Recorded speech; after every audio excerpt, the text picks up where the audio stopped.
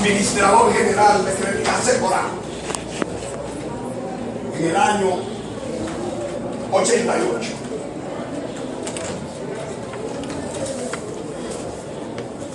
Renuncio de Clínica para acompañar a mi esposa en el negocio que fue ella quien creó ese negocio. Porque yo no existía en ese tiempo. Dedicado al magisterio. Y qué? Porque hay consecuencia a esa empresa. Llego al formado la tablita en el 90 acompañar a mi esposa. Pero la verdad es que estoy sorprendido ante esta ciencia visión que se ha colocado en la tablita. Pero no han presentado un solo testigo de los alrededores de la tablita. Un solo testigo de la Rosa Duarte, que son, que es la vecindad más cerca de ese negocio. Pero usted sabe cuántas esquinas rodean ese negocio. 16 esquinas. Es un privilegio que un negocio esté ubicado en una zona que le favorece. Puedo señalar los negocios que hay ahí. La Bema de calle, Ferretería 24-7, Monte de Piedad, la zapatería, tres negocios dedicados a,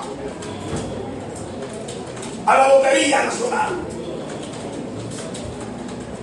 Y ponen esto aquí como que los vecinos no pueden vivir. Pero si en 35 años ese negocio funcionando no se levanta ningún vecino en contra de la tablita. Y estas personas han orquestado una acción en contra de la tablita. Quiere que la tablita sea un chivo expiatorio para exhibirse y decir cerrar la tablita. ¿Usted sabe lo que implica cerrar la tablita? Se pueden cerrar 25 negocios. Y si la tablita cierra, si la tablita cierra, crea un boom. Crea un boom. Y eso es lo que yo persigue. Cerrar ese negocio para determinar. Que estamos, accionando. Que estamos accionando. Señores, es que hacer, hacerle daño a dos personas. Que nosotros, lo que hemos dado ejemplo de trabajo, que los jóvenes que van a hacer negocio con 68 años de edad que tenemos nosotros al frente de ese negocio, son un ejemplo. ¿Quién nos puede señalar a nosotros vincularlo en algo reñido contra la ley? ¿En qué hemos delinquido nosotros? Ah, pero no dicen que la tablita es el centro de diversión donde se vende la cerveza más fría del país. Y la gente va allí a la tablita, no le puede madera. Es que cuando pide una cerveza, tiene que salir como Alaska, blanca.